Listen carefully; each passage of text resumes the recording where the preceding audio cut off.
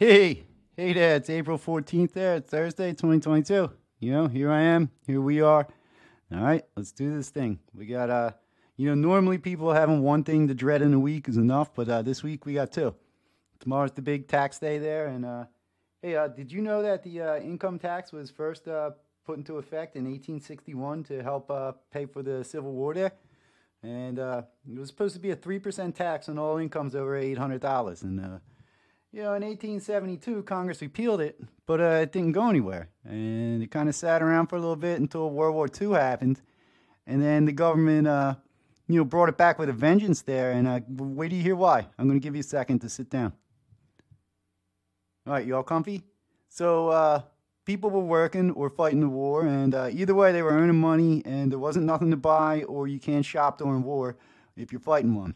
So all this money was building up in people's bank accounts, and the government felt that was dangerous. Yeah, ordinary citizens with enough money to uh, act autonomously is a danger to the central government there. So uh, they taxed it, and they don't stop.